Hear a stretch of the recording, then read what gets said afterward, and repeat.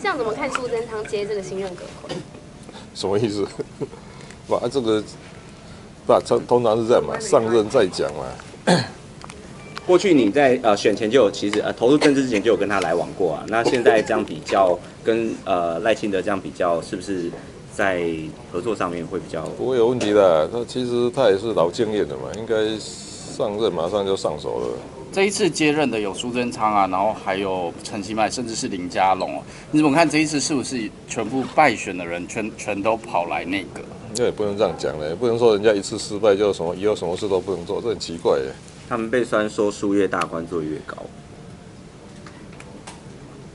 还是那一句话嘛，也不是说人家一次失败就就永远以后什么事都不能做了。所以我常说哈，先上线再讲嘛。所以重要是 what he do 嘛，not what he say 嘛。意思是说，哎，得快一，所以所以通常是要上任一阵子，我们才能够评估他的他的成效嘛。像之前曾经说那个台湾的内阁都换太快了，那这预估这一次的内阁很可能任期也只有一年出左右。他应该大部分的阁员应该不会换吧？啊，会换吗？不会吧？小有加问题吗？我不晓得，因为我没看到那个名单。像北农新董座是不是有可能由黄尚群来接任？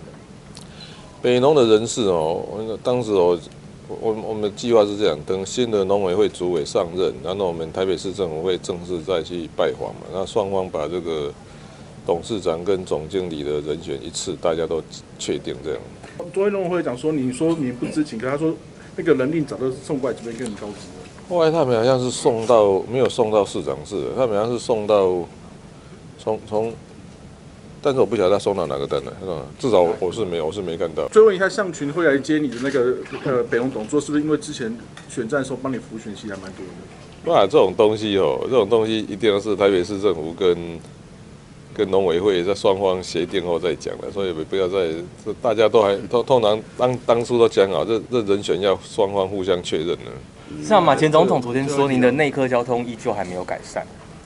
其实哦，内内湖哦，内湖不是交通问题，内湖是都市计划问题，而且而且把那个都市计划搞成今天这样乱七八糟，就是马英九他本人。我知道你怎么市长那个立委补选剩下两个礼拜，为什么陈思宇还需要募资啊？募资选举一定要花钱的，选举要不花钱的吗？但他的财产财力好像还还不错。那也不会一次选举把财产全部花光吧？他是不是不想亏钱这样子？谢谢。因为网友会酸说，凭什么？就是没有啦，不选举还是要花钱的，要选举不花钱的吗？这太厉害了吧？可是剩两个礼拜花，大概不到哪里去。有啦，我猜应该已经负债累累了吧。